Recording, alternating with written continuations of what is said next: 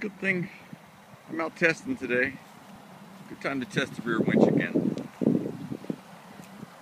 Let's take a look at this front ram here. Look at these holes where I got stuff. Ram's looking good. Gonna go up this hill here. Some hella high water. Just had to do a rear winch on that rock right there slid over and couldn't back up anymore. Of course, there's no trees in front to hook up to. And I'm by myself, which I do a lot. Thank God there was one tree close enough. I just winched that rock up out of the way. I'm going to go forward and back up this hill here.